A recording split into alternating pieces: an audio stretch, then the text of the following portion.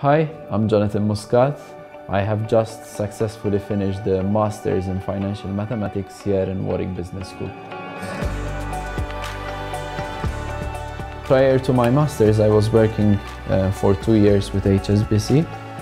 The area I wanted to progress in, uh, which is quantitative finance, is a very, very competitive area.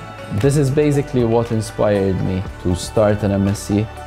People from within the industry themselves suggested WBS itself because in today's world you have to make yourself wanted and that's what basically WBS does. Warwick actually helps students to integrate within the student life and from the first weeks Warwick introduces you to all of the societies available. It gives you the opportunity to again meet people from totally different backgrounds.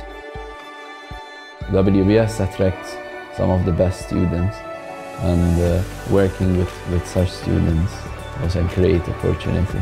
Just working with them, you're driven to actually excel. I'm very glad that I pursued this master's degree with WBS.